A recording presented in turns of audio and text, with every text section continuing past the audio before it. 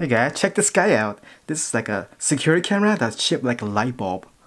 You're supposed to put it where the light bulb socket goes. Let's go check this guy out.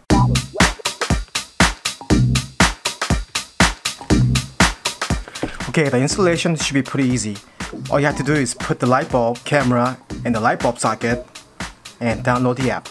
Let's do this. Okay, so here we have a normal light bulb socket. Now go ahead and download the app, go to your app store, look for V380 Pro and go ahead and run the app and just like any other app, you need to register and create an account and then log in to your app. Now go and click add device and make sure your light bulb is powered on and then once once the light bulb is powered on it's gonna start talking to you System startup completed. Access point preparing. Access point ready. Once you hear access point ready go and click on the first one access point established and go ahead and follow direction. First you have to do is connect to the Wi-Fi of the camera. It starts with MV something something. Once you're connected to the camera Wi-Fi go back to the app and click next.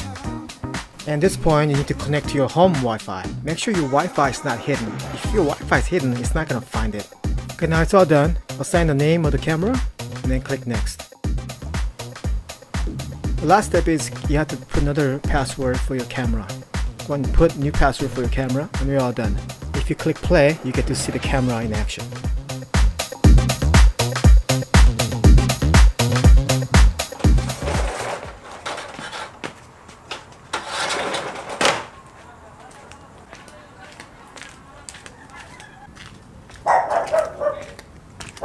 So I decided to put this camera on this little alley on the side of the house so I could keep track of who's going in and out the little gate. Luckily there's a little light bulb right next to it.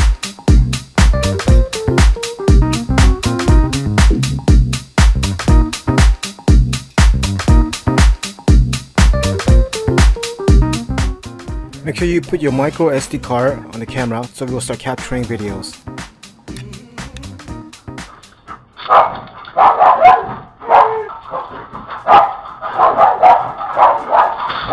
Since the camera is already set up, when you run the app, the camera should work right away. If you click play, you should see the live view right away. And you can slide back and forth on the bottom to rotate the image, and use two fingers to zoom in, and out. So let me quickly go through some of the important features in the app. If you click replay button, you should be able to see the recorded video in the SD card. Just find the date that you want to see the video, and you should be able to see the video from the date. You could also download the uh, recorded image from SD card to your phone. If you want to watch the downloaded video, you have to go to profile section and under album, go to video. If you click on the mode button, it features a few different camera modes you could play with.